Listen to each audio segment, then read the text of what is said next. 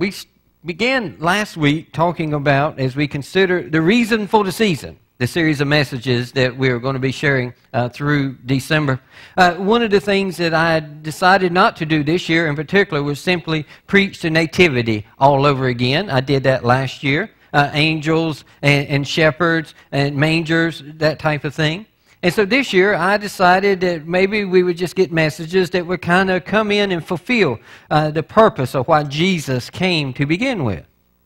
Again, like I mentioned earlier, if it hadn't have been for Jesus, we wouldn't be sitting together here today. We might could have met somewhere down at the local Lions Club or whatever and found out what we were going to be doing to, for our next charity fundraiser. But instead, we come to worship Jesus. I, I, wanted to focus this morning on some of the things that Jesus did. One key thing, uh, the title of the message is that the, the carpenter came to build. Uh, you may be thinking, well, uh, that sounds good. That sounds like what Jesus did. But did you ever think about for building to take place, a lot of times there's got to be some destruction. If you're on a vacant lot that's wooded or whatever the case may be, it's got to be cleared before uh, that new structure can go up.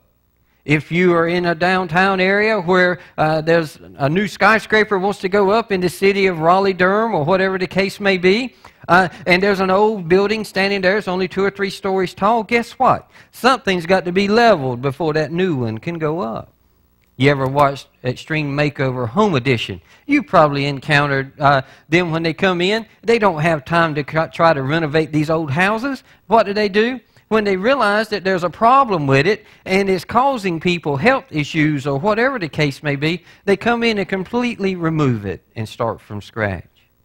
And so when I talk about Jesus being able to come to build, you have to also remember that he came to do a little demolition before he could do some building. Uh, Hebrews chapter uh, 2 this morning. Hebrews chapter 2. We find three characters here as we go through this passage.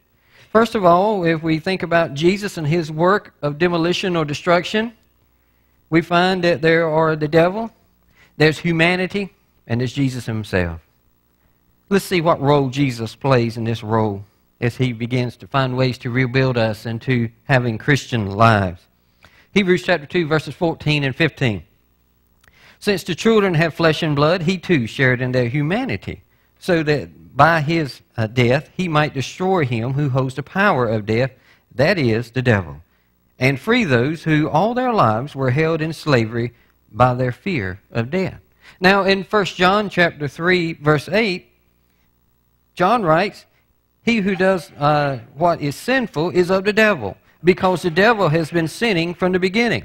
The reason the Son of God appeared was to destroy the devil's work. You see, Jesus realized there's a few things he's got to tear apart before he can build people up.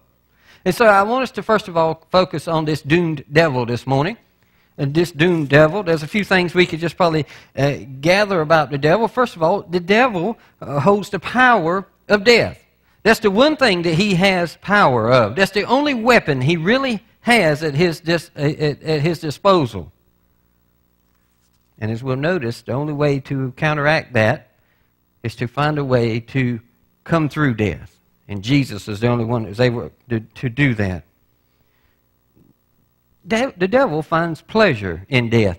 Uh, one of the things that I encounter with people more than anything, if there's one reality that we all go through, we're going to die. Uh, the biggest thing in what I find with people is how they embrace this inevitable thing we call death. Uh, people who are followers of Jesus, who personally have a relationship with Jesus Christ, most of the time are embracing death because they know that's going to get them to where they're ultimately trying to get into eternity. But people who don't have a relationship with Jesus Christ, death is a frightening thing. And so Satan uses this fear of death as his main weapon. Secondly, I think we need to understand that Satan's been sinning from the beginning. Has he not? Ever since it, time began, uh, Satan began this thing about sin.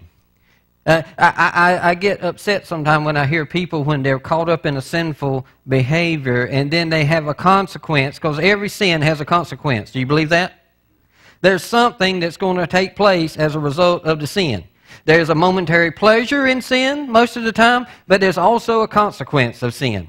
If you were a drug addict, that momentary pleasure is going to be that little euphoric state that you're going to be in when you first hit that drug. The consequence of that is you become an addict. And all you can do is think about and focus on that drug. And you'll do whatever it takes. People sell themselves into prostitution.